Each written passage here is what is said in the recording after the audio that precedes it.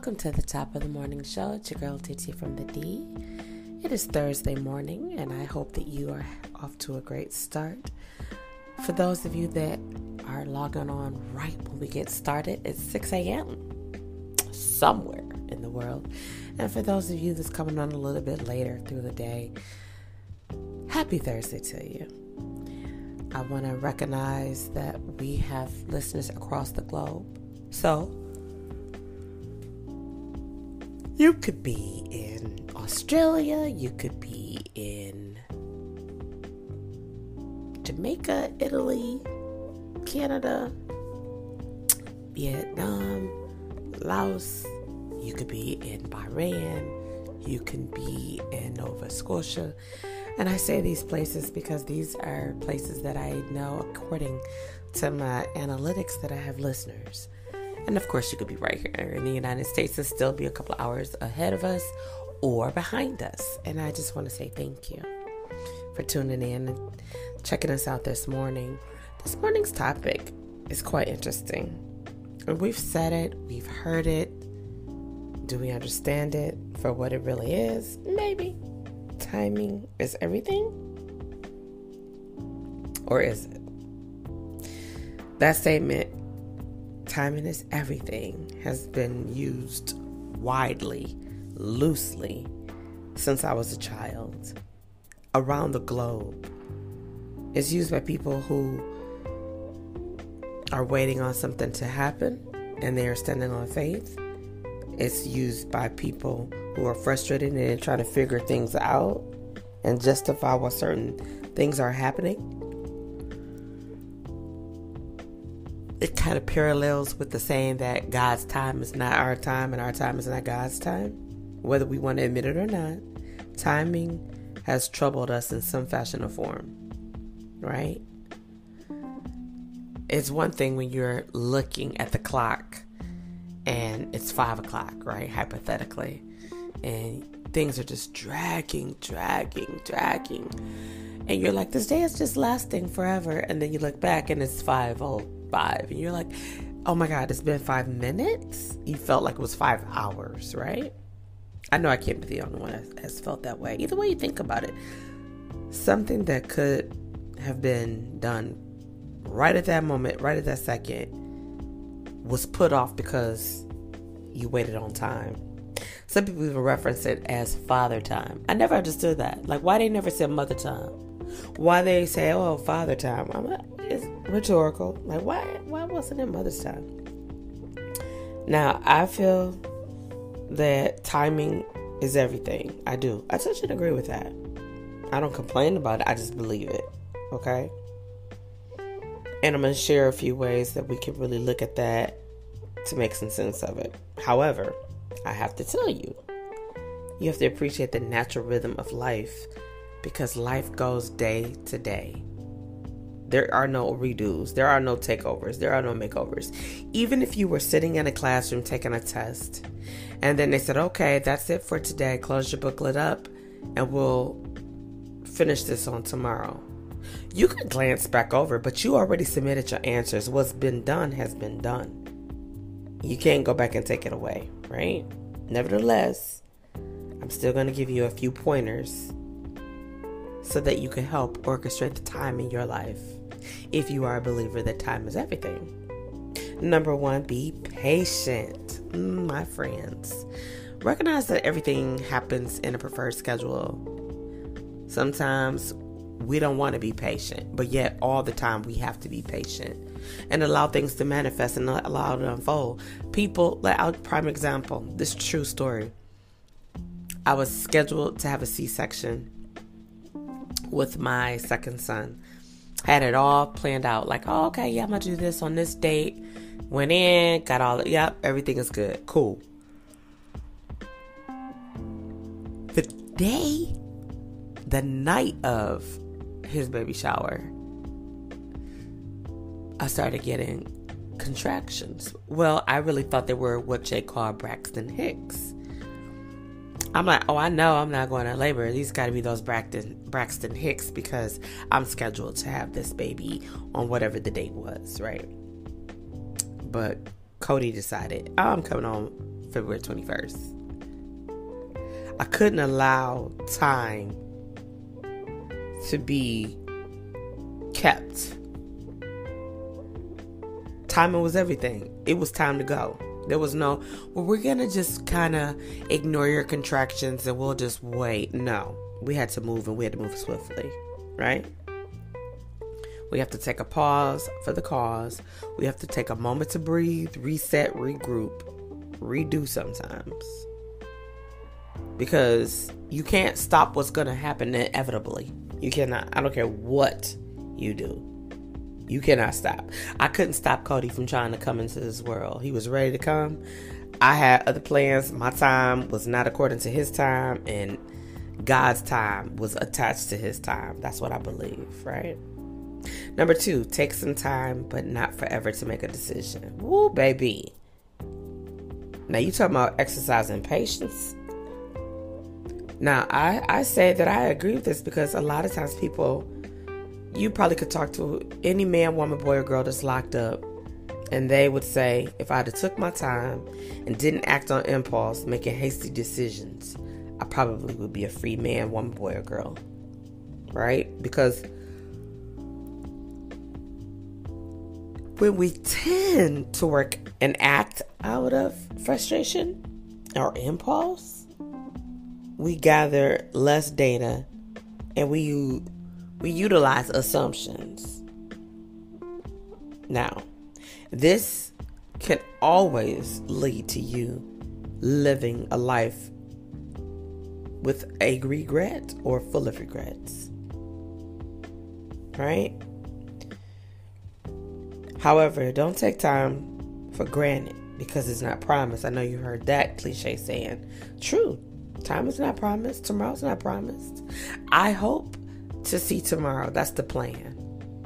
But I said I was going to do a show on this topic before. Unfinished business. Whenever somebody passes away, there's always some things they were getting ready to do or they didn't finish doing. Hell, I know somebody who didn't even get to cut their car off, left it running because it was going to run in and out. They didn't know their life was going to be taken when they ran in. But it was. Number three, listen to your gut and not your heart. Pay attention to your intuition. That gut feeling. Something telling you, like, don't do it. And we always question, and what I wonder what that is. Our intuition, our instincts. They'll guide you to the right time of things and help you to truly avoid situations that sometimes you may not come back from. And I'm a living witness of that. That's a whole nother podcast, too. That was my testimony and my story. That has happened in my past. And I thank God that I was obedient because I'm still here to talk about it. Right? If there's something that doesn't feel right, and it don't jump with you, it don't move with your rhythm, don't do it. Wait a while. Right? Intuition helps us to sense vibrations that the universe can make you see with the naked eye if you take a time or you take the time to slow down. And a lot of times we are go, go, go, go, go, go, go, go, go. We want microwave moments, and that's not what it's about. Number four, understand the season of life. Oh, seasons. You probably get this from, you know, other people. You've heard it.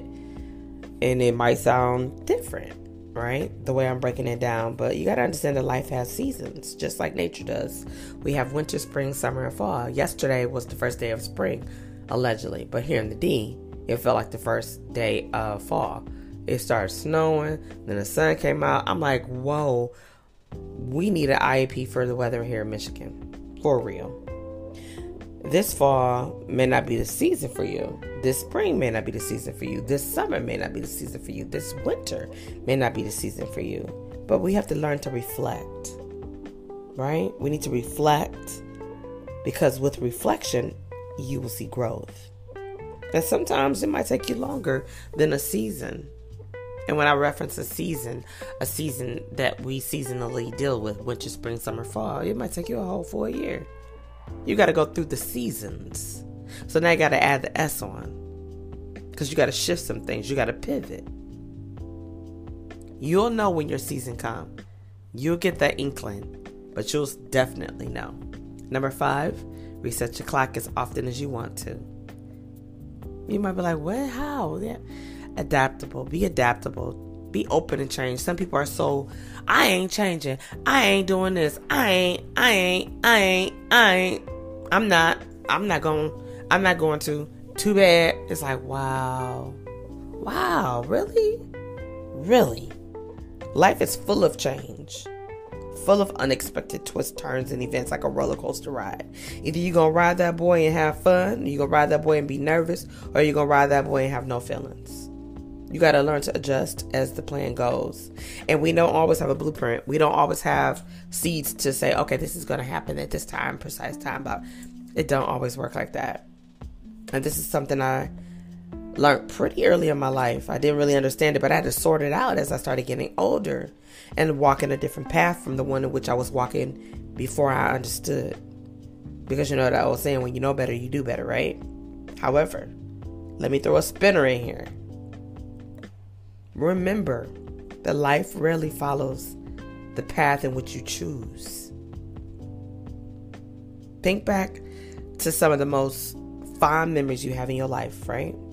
Now, how many of those memories were planned and executed according to the way it started out?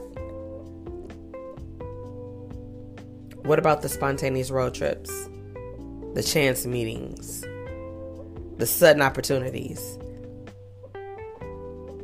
Mm-hmm. Some you may even forgot about, and now you're you're thinking like, "Wow, oh, I remember, it just happened." Like, do you believe in coincidences? That's rhetorical. You either do or you don't, or you could be on the fence about it. You got to remember that unexpected moments often challenge us too. Sometimes we push to the limit. We have to adjust ourselves to the rhythm of the earth, the way that we are chasing time. We give up so much of ourselves by chasing time. We don't even realize how much of a blessing it is to just get another day another opportunity. Now, some people understand what that looks like and some do not. And that's okay. Because if God grants you another opportunity, another opportunity to say, you know what, let me look at that. Let me, let me, I'm, I'm, I'm seeing something different. Then you run with that. You run with it and you run fast with it. Now, one thing I can say that I, I, I really believe is that God don't, He don't, um, get any takebacks. what does that mean, TT? I don't think he takes back the day. Oh, I'm gonna let you live today. Oh no, no, you lived a little bit, but I'm a. He can't take it back. He can't take back the day, but you can. You can. You can take back the day. You could say, you know what? I'm not gonna do this. I'm gonna do something a little different and make that thing happen. Make it happen for yourself. Why not? You know what I'm saying? Why ask why? Well, why ask why? Why ask why? Well, that's all I got for you on this thankful Thursday morning. It's a beautiful day. I'm excited for this weekend. I'm planning to have a great weekend with my husband. And uh, I hope the weather treats us well. We're going to do some things we haven't done before. So, a few things we've done, and we find it quite eventful. So we'll follow suit, but a few things we haven't done. And so we're going to look into that. Whatever you choose to do, I hope that you do it well and you do it with cheer in your heart. Remember, you can catch us Monday through Friday right here on the top of the morning show. I'm going to have a great lineup next week. We're going to be preparing to introduce you guys to what did you expect? That's going to be introduced on Mondays, right? We're going to unpack the book by Paul Tripp. It's an amazing book. It's really for the people that are married or getting ready to get married, right? It's really a good book. And then I'm going to have the beautiful Tanya Michelle on Tap In Tuesday next week. It's going to be an amazing show. Tomorrow, you got to tap in at 6 a.m. to catch out the hot topic because it's Free Flow Friday. Okay. That's all I have. I'll see you soon.